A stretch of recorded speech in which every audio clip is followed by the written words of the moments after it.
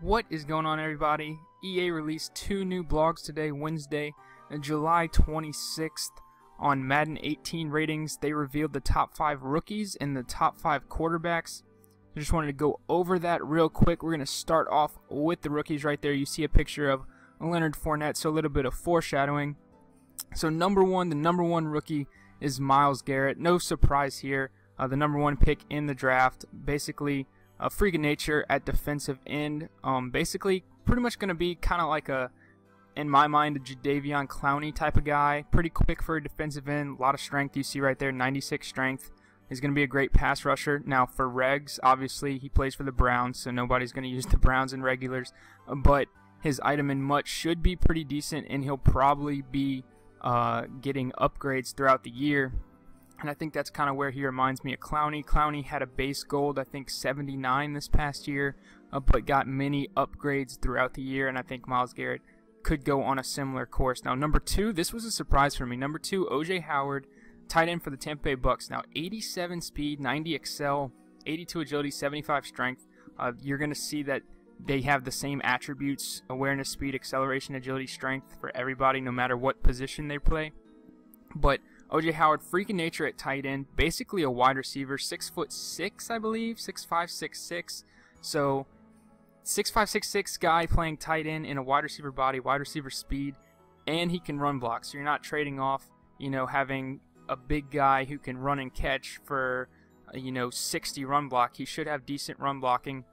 They talk about it down here. Wasn't the only freak athlete Howard is prototypical tight end with size, speed, catching ability, and blocking prowess. He played for Alabama in college, so you know basically you have to know how to block if you want to play for them. But 82 overall, uh, that was really high, and the Bucks, although in regs won't be super competitive, they will have a fun offense with Mike Evans. Now they have DeSean Jackson, OJ Howard, Vincent Jackson.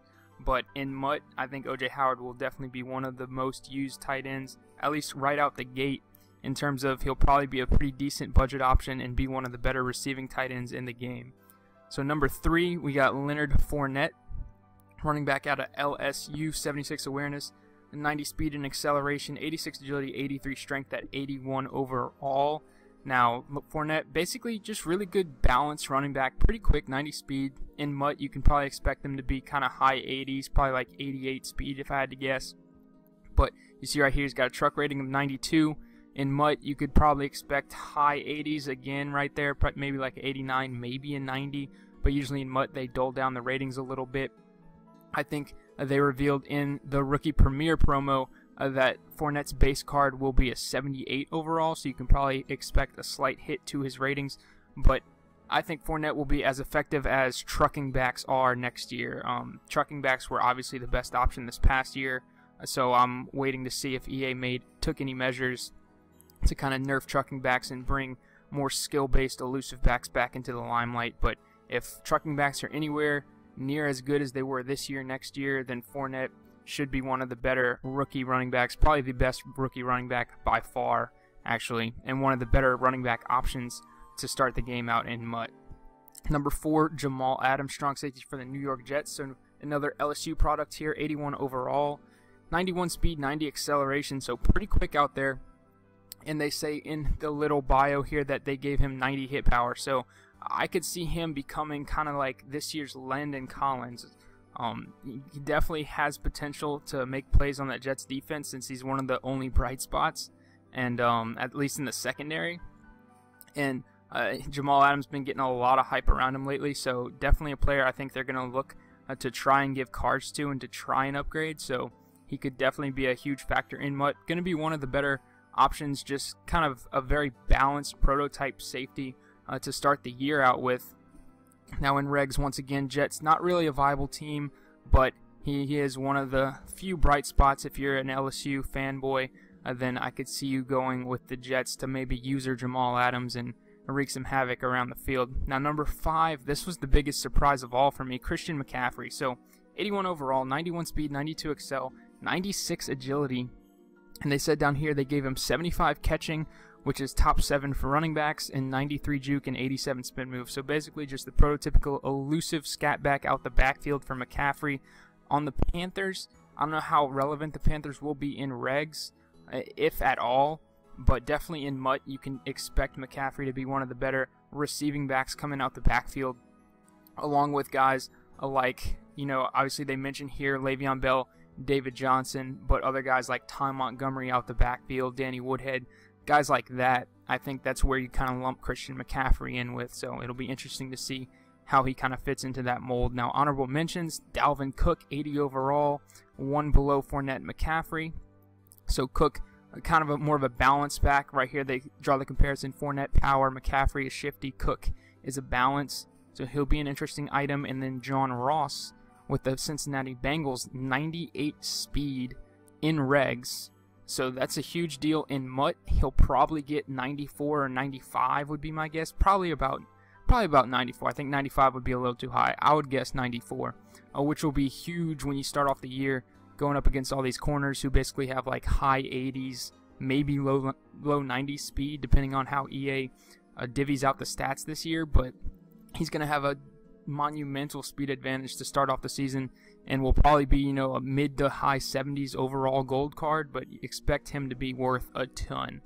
So, quarterbacks. So, top five quarterbacks. Once again, you see Tom Brady here. Obviously, Brady's going to be number one, 99 overall. Basically, uh, does everything. I don't like how they use the same uh, stats here again awareness, speed, acceleration, agility, and strength. No one really cares what these guys, or at least quarterbacks' agilities and strengths are. I think they would have been better off doing throw power and throw accuracy personally, but you can see Brady very aware, 99 awareness, uh, but low and mid 60s on everything else. But you can expect him to have a strong arm and basically perfect accuracy. Aaron Rodgers coming in number two. Once again, I think Rodgers will be the best regs QB in the game uh, just because he'll be able to make pretty much every single throw Brady can make, but along with that 79 speed. So he gives you the mobility, he gives you the cannon, he gives you the throw accuracy. He's the complete package. He'll be the best regs quarterback once again, and probably the best MUT quarterback to start off the year. Number three, the MVP Matt Ryan. So 96 awareness, 72 speed, a little slower than Rodgers, not as slow as Brady though. Probably 96 overall, so uh, you can expect him to be making a lot of the throws that the guys above him make. Um, I don't know if they'll give him the strongest arm, so I think Rodgers will definitely have a stronger arm than Matt Ryan, but Ryan will still be a great option. And obviously, the Falcons will be one of the best teams in regs, and so having the third best quarterback on the game definitely will uh, contribute to that, along with having guys like Julio, uh, you know, like Mohamed Sanu, uh, Tevin Coleman, Devonta Freeman, those guys on offense. The Falcons will once again have probably the best offense on the game to start the year in regs. So number four, Drew Brees, 92 overall, 99 awareness. So he shares that with Tom Brady, but you can expect basically probably low 90s throw power for Brees, really high short and medium, and pretty good deep. I think it's a shame that he's four overall under Matt Ryan. I know Matt Ryan won the MVP last year, but just I mean I I think Brees in real life is better than Matt Ryan. I think you put Brees on a team that has a halfway decent defense, and uh, he's probably like a top five QB all time, no questions asked. But that's kind of my personal opinion. But you can expect Brees to obviously be able to make pretty much every short and intermediate throw. Might lose a little power on the long ball, so if you're kind of a gunslinger, maybe Brees isn't your guy, but if you're a short intermediate pocket passer, then Brees will definitely fit your style. Number five, we got Ben Roethlisberger, 91 overall, 90 awareness, 74 speed, so a little mobility. Ben's going to shake some tackles as well, 82 strength you see right there. So he's going to be a little tougher in the pocket, might shake off a few sacks, a little mobile, going to have that cannon.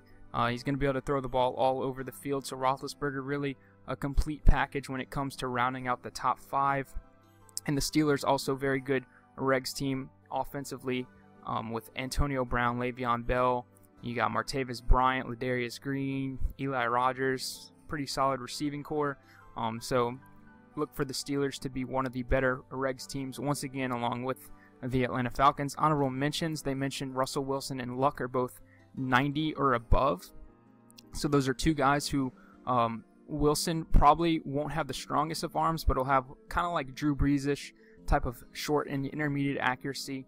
Maybe not so much deep, but obviously brings that mobility. Whereas Luck also brings the mobility. Might have a little more throw power than Russell Wilson, but a little less on the accuracy. Cam Newton, they say, starting off at 88. So the thing with Cam every year, he's pretty quick. Obviously, uh, the most physical quarterback. He's going to run some people over for you if you get into open space. But the knock on him is always he's got a cannon, but that deep accuracy is always really, really bad. They always put him in like the mid 70s. So look for him uh, to not have the greatest accuracy. Maybe try and improve that over the year. And then they mention uh, Dak Prescott. They don't mention his overall, but they mention that him and Dez Bryant could link up. And, um, you know, if they kind of play off of each other and make a lot of plays and put up some stats, then they could be two guys to look to, to climb the rankings as the year goes on. So that's something. Dak, if I had to guess, probably be about mid 80s. Pretty good accuracy, pretty mobile. Um, just won't have the best deep accuracy, perhaps. A lot of uh, his living last year was made off of the short and intermediate game, I feel like. So uh, I think they're right, though, in that he could definitely do some climbing as the year goes on they update the rankings. But just wanted to talk about this with you guys, get your guys' opinions on if they got the top five rookies right, if they got the top five quarterbacks right. What do you guys think? I think the quarterback list uh, was pretty solid. It would probably be my top five if I had to make a top five. Rookie wise, I don't know about putting McCaffrey at number five. I would probably disagree with that, and I think OJ Howard at number two might be a little high, uh, but that's just my personal opinion. I think they definitely played to the skill positions in terms of the top five rookies. You got a tight end, two running backs, a strong safety, and a defensive end. And then in the honorable mentions, uh, they put a running back and a wide receiver. So a lot of skill position guys in those top rookie players. But let me know what you guys thought. Hope you guys enjoyed the video. And until next time, take it easy.